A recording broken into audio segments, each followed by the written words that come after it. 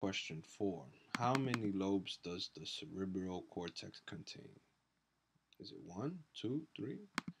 There's four. All right, ladies and gentlemen. Four lobes. The cerebral cortex contain, consists of four lobes.